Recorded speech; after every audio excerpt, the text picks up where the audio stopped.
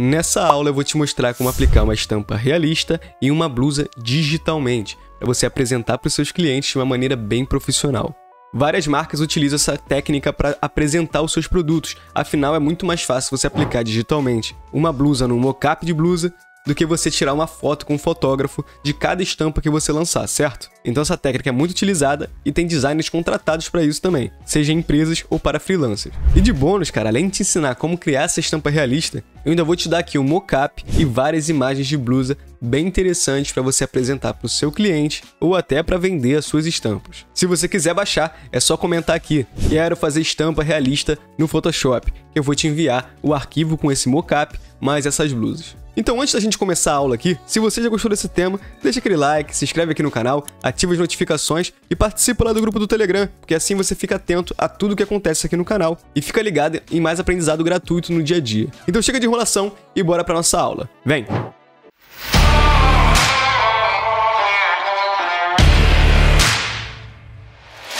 Para começar aqui, eu vou abrir esse mockup dessa blusa para a gente trabalhar. Se você quiser esse arquivo, comenta aqui Quero fazer blusa realista no Photoshop. Eu vou te encaminhar o arquivo dessa blusa, mais algumas blusas aqui para você trabalhar nos seus projetos. Então, para começar aqui, eu preciso colocar uma estampa aqui dentro, né? Eu tenho algumas estampas, para quem não sabe, eu também sou ilustrador, então acabo trabalhando com isso também. E, por exemplo, eu tenho essa estampa aqui, desse leão, que é o leão Tramas, que eu gosto bastante, inclusive. Vou redimensionar ele aqui do tamanho que eu acho interessante. E por acaso, se você gostou desse leão quer dar uma força aqui também, ele é vendido aqui nesse site, onde eu deixei o link aqui abaixo. Ele não tem só blusa não, tem pôster, tem almofada, tem caneca, tem um monte de coisa interessante, bonitão para você botar aí no seu quarto e usar no dia a dia. E até uma dica, você quer aprender a criar estampas e colocar em sites para ganhar um dinheiro com isso? E divulgar os seus projetos por aí? Se você tiver interesse, também comenta aqui que eu posso fazer uma aula te ensinando a como ganhar dinheiro vendendo estampas.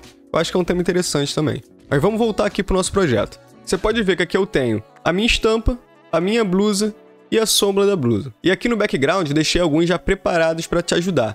Deixei aqui umas madeiras ó, bem interessantes que você consegue trabalhar aí de forma diferente, com fundos diferentes também, podendo apresentar para o seu cliente. Essa de mármore aqui é um pouco diferente das madeiras, que você coloca aqui o mármore e você pode mudar aqui a cor, clicando diretamente nesse quadrado e alterando a cor aqui. E mesmo assim, se você não quiser textura, é só tirar a textura que você pode usar com fundo liso que nem essa que eu tô te mostrando. Eu já coloquei minha estampa aqui em cima da blusa, mas eu quero que essa estampa fique incorporada na blusa. Olhando assim, ela fica um pouco falsa, né?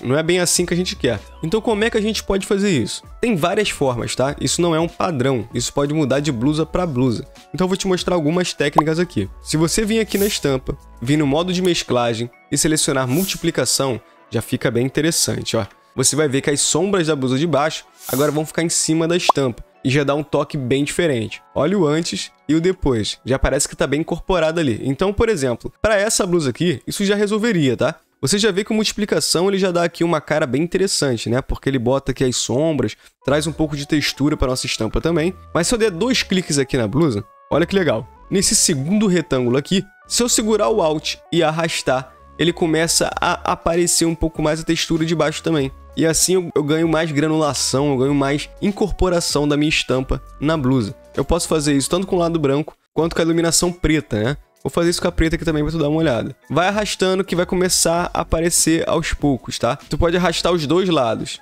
Nesse caso, só o branco pra gente é interessante. Ó, se eu aumentar muito, ele vai tirar muito. Se eu aumentar pouco, ele vai dar só aquela leve texturazinha. E é o que eu quero. Eu acho que assim tá interessante. Fica um tom mais vintage, né? Uma coisa mais diferente. Olha o antes e o depois. Então ele ganha, além do sombreamento, ele ganha uma textura também. Só tem que ter cuidado para não ficar um negócio falso, né?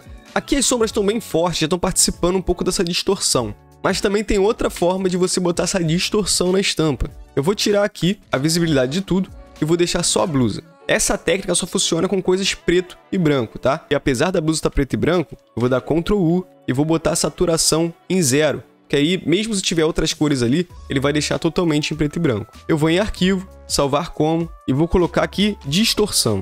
E vou selecionar a opção como uma cópia, porque eu não quero salvar em cima desse arquivo original, e clicar em Salvar. Pronto, vou voltar aqui com o meu fundo com a minha estampa e com a minha sombra, vou dar Ctrl S no meu arquivo, né, pra gente não perder. E agora com a estampa selecionada, eu venho aqui em Filtro, Distorção, Mesclagem. Vou botar 10 e 10 e vou deixar essas configurações. Vou clicar em OK e vou selecionar aqui o meu arquivo de distorção e clicar em abrir. E olha que interessante, vou dar um zoom aqui para tu ver melhor. Antes estava assim e agora tá assim. Repara aqui na boca do leão, repara aqui no nariz. O que, que aconteceu? Aonde é os tons escuros, ele trouxe uma profundidade, como se fosse uma textura 3D.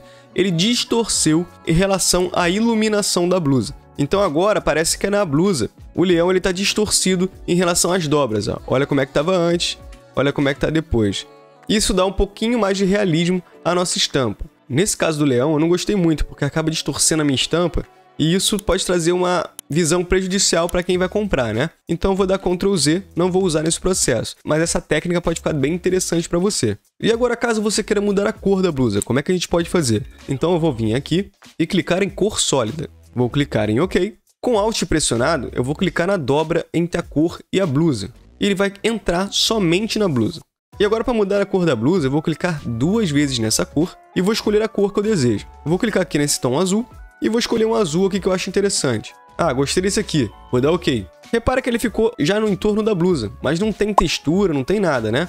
Então, novamente, vamos aqui em normal e vamos colocar em multiplicação. E olha que interessante, eu já consigo dar uma cor para minha blusa. Mas agora o leão, né, que tá por cima, ele ficou também azul, e não é isso que a gente quer, né? Então, nesse caso do leão aqui, eu já colocaria aqui no modo normal novamente. O que seria legal fazer? Eu vou dar Ctrl J aqui na blusa, e essa blusa de baixo eu vou jogar para cima de tudo. E repara que a blusa ficou por cima de tudo. Mas agora eu vou fazer o inverso. Eu vou colocar aqui em multiplicação. E olha que maneiro, como a blusa é preta e branca, o preto que realça. Então ele traz agora um sombreamento para cima da blusa. Como a blusa já tem um sombreamento, não quero aumentar mais, eu venho aqui e crio uma máscara de camada para ficar somente em cima do leão.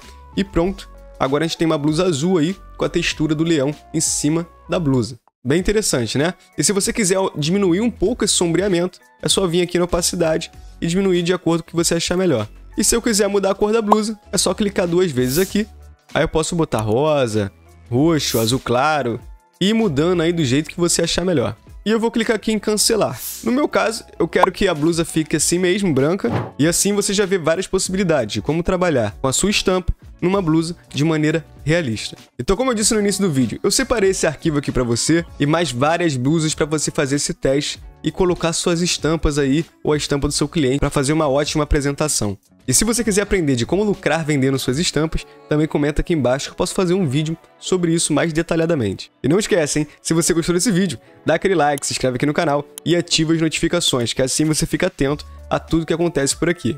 E se você gostou da estampa e quer levar um produto para casa, o link tá aqui abaixo. Cara, tem vários produtos legais, caneca, quadro, blusa e o preço é bem acessível. Vai ser um prazer ter uma estampa minha na sua casa. Então espero que você tenha gostado e até o próximo vídeo.